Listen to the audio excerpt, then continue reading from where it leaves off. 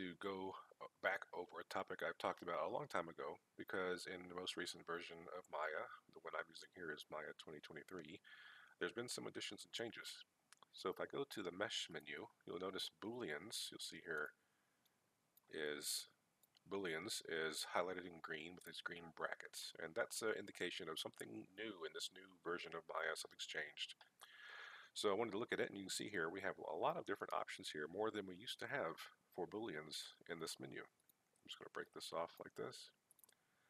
And so in the original booleans video that I have on my channel, I talked about union, uh, difference, now we have two different kinds of differences, and intersection. Union, difference, and intersection, those are the three original boolean operations that have been with Maya for a long time. However, now we have lots of different options here as well as uh, a new interface for how booleans kind of are displayed and how they work, which is pretty cool. So I wanted to kind of recap uh, the th three boolean operations I've talked about previously. Essentially, the way these operations work hasn't changed from that original video. Okay, they still kind of are the same, but they do have this new interface and things, so I thought I would uh, go over it again. So just to kind of show this off, all you really need is two polygonal objects to interact together. So let's say I make a cube here, and we can make another cube or we can do another shape like a sphere for example. There we go. Scale this up.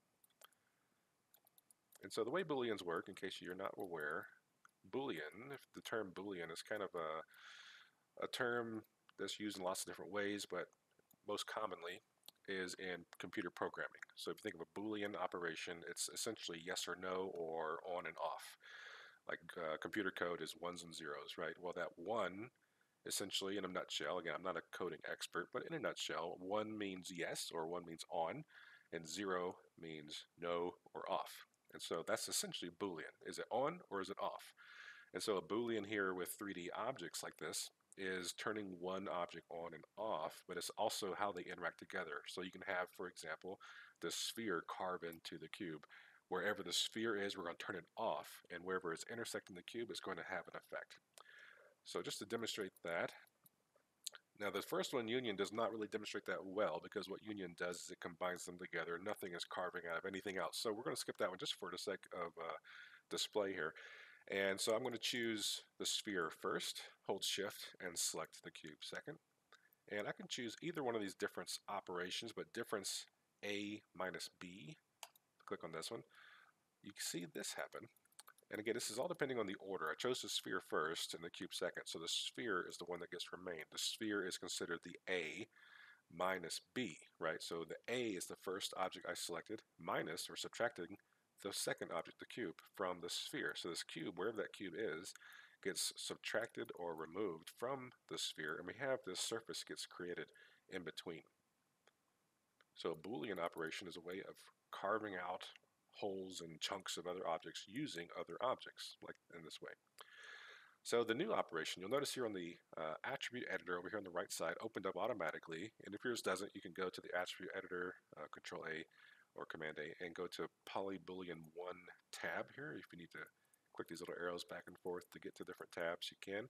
But the Polyboolean 1 tab here shows you this new interface. This is new use it from uh, how Booleans have worked before they have this interface here. So you see I have P sphere 1, P cube 1.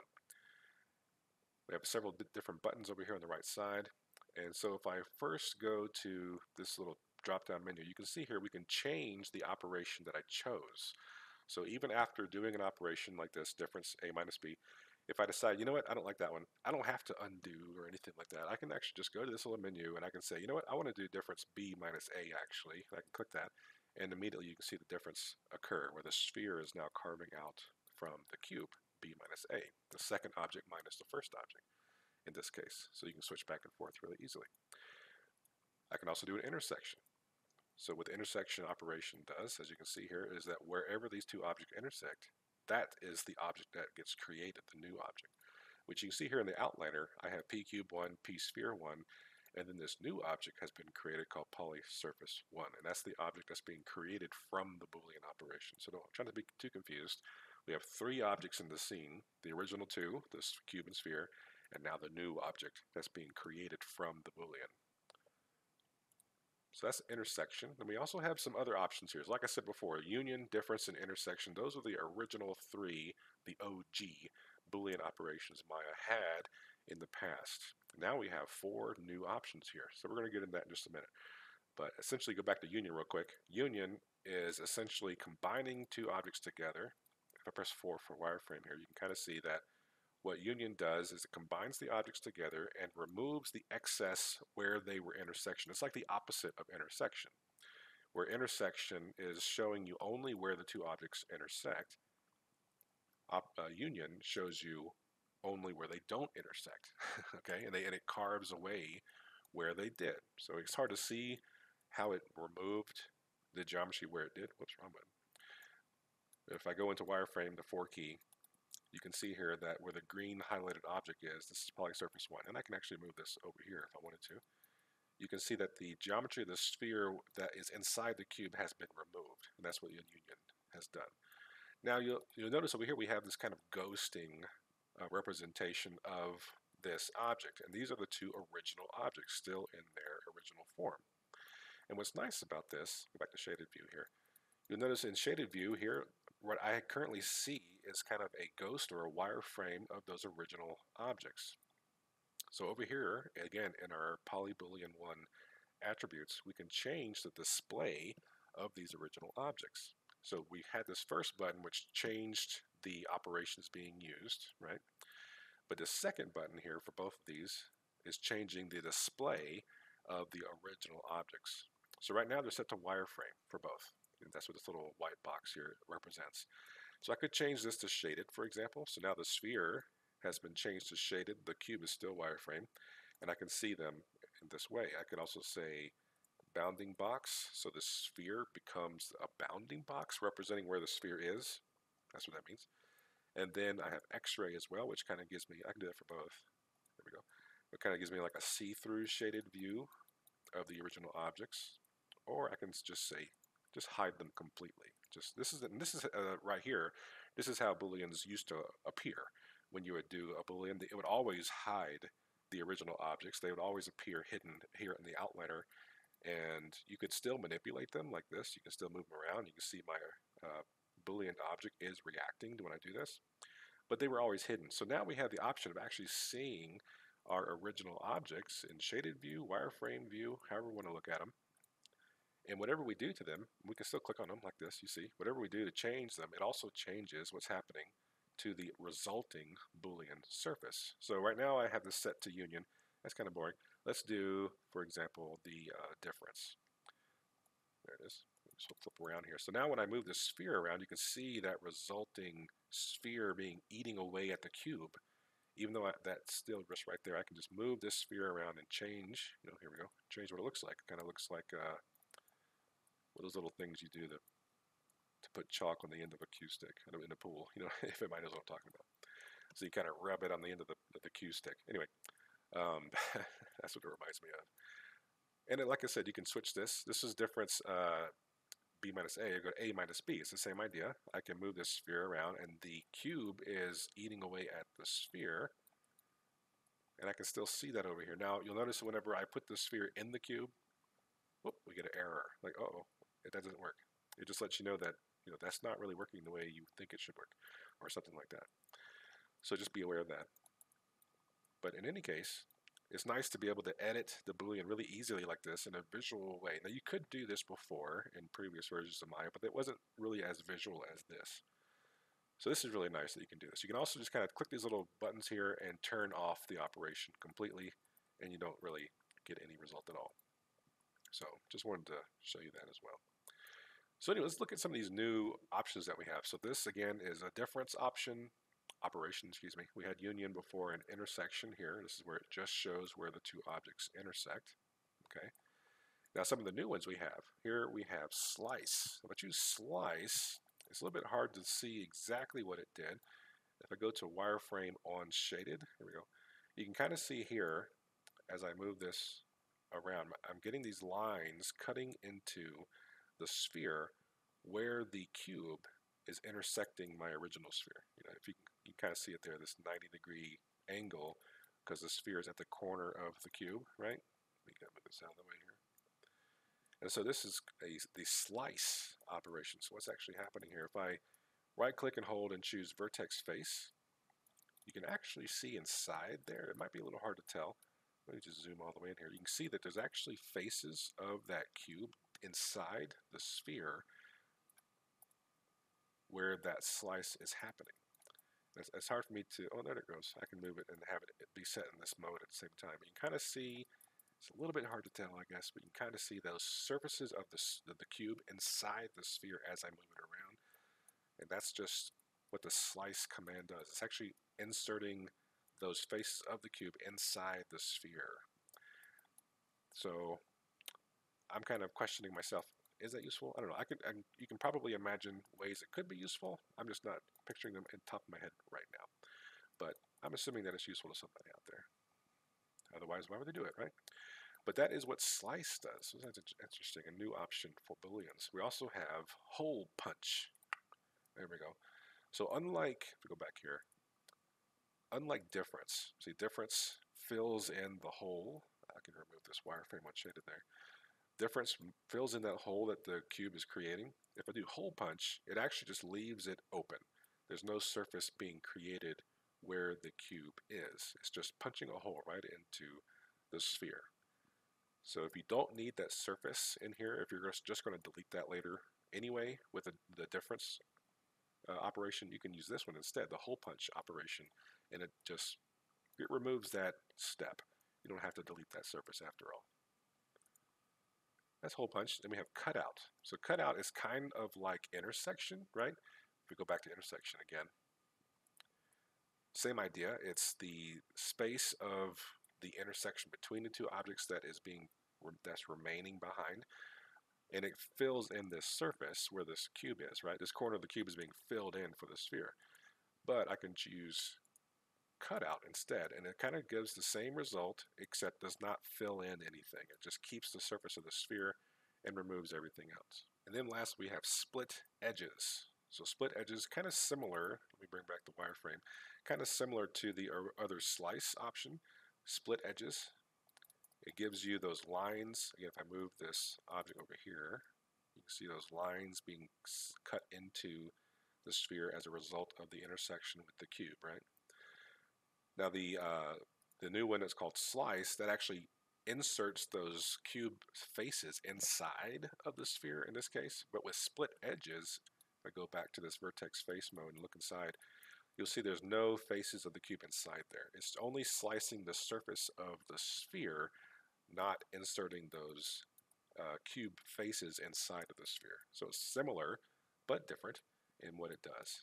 It's very similar. It, it gives you those edges on the sphere in case you might want to, say, bevel those or extrude those out or something like that. But it doesn't give you that surface inside the cube to worry about. You don't have to deal with that. Which I find this much more useful than the slice one myself. I, I usually don't run into the situation where I want those uh, faces inside of the sphere that way. If I did, I would usually do the difference, right? So then I'd have it like this, where I have this open hole. But I guess because the split edges, I bet you what I'm imagining happening is we have this split edges function built in, and they're like, you know what, we have this, we might as well give them the slice too, just in case they want that. Where then you can have the faces inside there as well.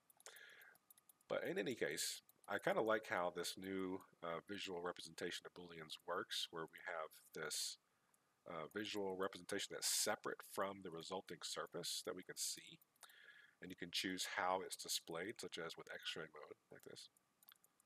That's pretty cool. And so I can move this surface over here, and I can still manipulate what happens with this surface over here. So it's kind of neat, kind of cool. I can even rotate these pieces, same idea. Rotate, scale, all that still works, just as you'd expect. And so just as I mentioned in my original Boolean video from a few years ago, the surface of the object does affect the resulting Boolean. For example, the sphere has a pole on each end, right? Where the edges kind of converge together into a, a pole like a globe. You have to be cognizant of that, be kind of aware of that, so that if you want the pole included in your Boolean surface, you would want to rotate your sphere to include it. Otherwise, if you rotate your sphere just so, so that the pole is not included in that intersection where it's being displayed, you then only get the uh, I guess you call that the longitude and latitude lines of the globe, if, if you want to use the globe analogy still, and you don't get those poles involved, because that does add a lot of geometry there that may need to be cleaned up later, depending on what you're doing. So the, the whole uh, keeping your geometry clean aspect when using booleans is still very important. Um, you want to be careful not to have a lot of like little tiny, let me find a good example here. Zoom in really close. See, I got a little tiny triangle right there. Just got to be careful when doing booleans. You know, you don't have a little bit of ugly geometry that doesn't really smooth very well or things like that. Just have to be aware of that when you're using booleans. That no matter what you do with booleans, the resulting surface, you'd have all these controls now, which is really awesome. But even so, you still want to kind of go back and clean it up afterwards for whatever purpose you're using it for. I can right click on, say, the p cube one, and I can say remove. And that'll actually remove it from the operation. See here?